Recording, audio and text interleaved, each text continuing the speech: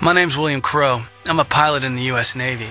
My dad used to be a pilot in the United States Air Force, so growing up we moved around a lot. New towns, new schools, new friends. Dad used to take my kid brother Charlie and me to the air base at whatever town we lived in at the time. Every year there'd be new planes, new models. Every year they were faster and stronger, each one better than the one before. Then there was the accident. Some pilot screwed his landing and crashed. Dad was working in the hangar. He ran out and pulled the pilot from the burning plane right before it went up. Dad was badly burned. He was lucky to be alive, but he couldn't fly anymore. He got a discharge and a pension. Well, the pension was never enough, and pretty soon we found ourselves farming a patch of dirt just to get by. Out there, the only things we had plenty of were dirt and sky. Our only entertainment was a busted old crop duster, so Charlie and I became the Dirt Duster Brothers. We flew the wings off that old crate. As much fun as that was, it couldn't last forever. The Navy was our way out. When we got old enough, we joined up. I graduated from flight training at Pensacola. Charlie trained as a sailor. Before long, we got our postings. I was stationed at Hickam Field, Pearl Harbor. Charlie was on the USS Arizona, a great name for a great battleship, the pride of the fleet.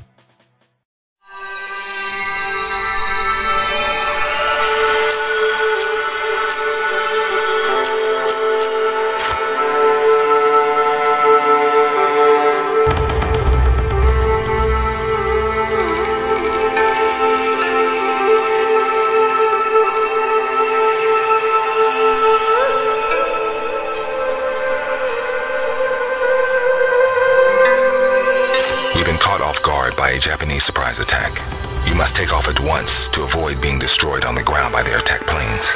Once airborne, you must defend the planes still on the ground and our vital fueling facilities. If you fail, our fleet will be severely hampered in their ability to strike back after this vicious attack. It seems the war has finally begun, Lieutenant Crow.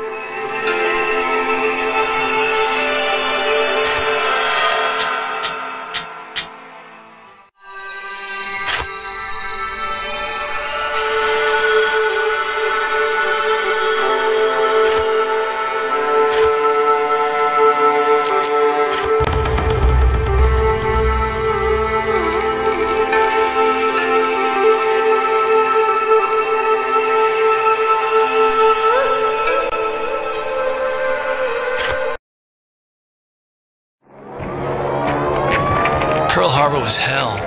One minute I was thinking about getting out of bed, the next minute the sky's so thick with planes I could barely see the sun.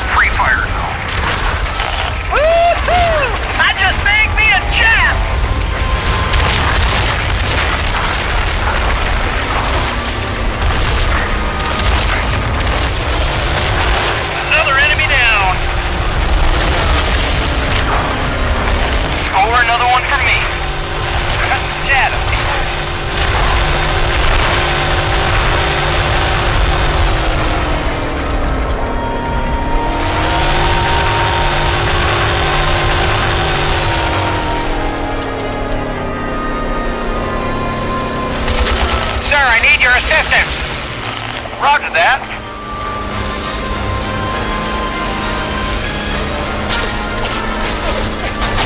I can't shake this bandit, sir. Target destroyed. Great piece of flying, sir.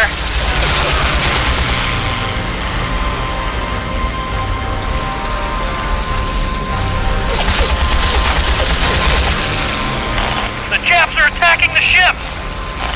I'll take the bombers.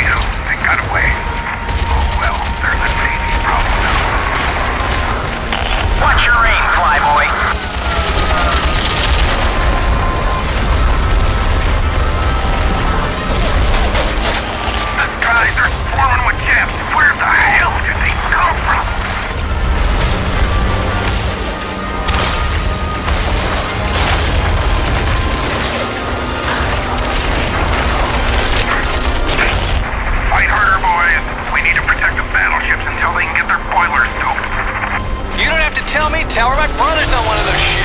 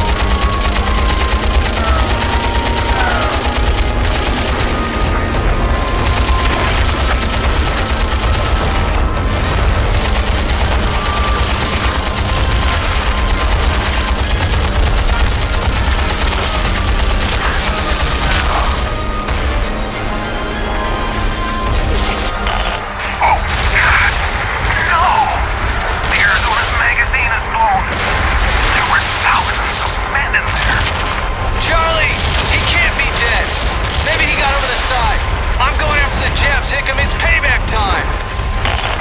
Denied. We all lost friends today. But you've got to land and rearm. There might be more jets coming in, and we have to protect what's left. I swear, I'm gonna find the bastards that did this to us and make them pay. You don't sucker punch the United States and get away with it. You'll get your chance.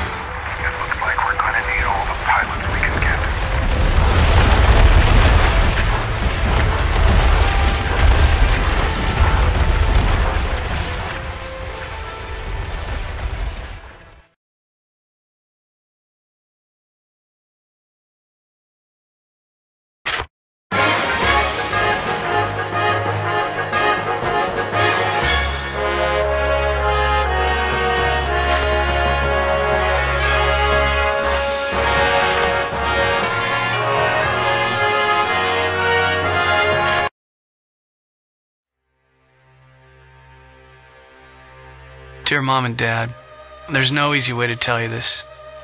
Charlie's dead. Wanted you to hear it from me before the man from the Navy arrives, but I'm not sure this letter will beat their telegraph.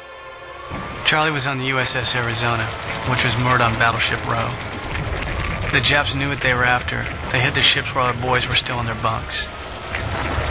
The Arizona went down during the attack. As she sank, we could hear the boys trapped inside screaming for our help, but we couldn't get them out. I'm sorry I can't write more, but as of this morning, we're at war. I'm shipping out for Wake Island in a couple of hours. I swear this to you now. Those Japs are going to pay for what they did to our family and our country. William Crow.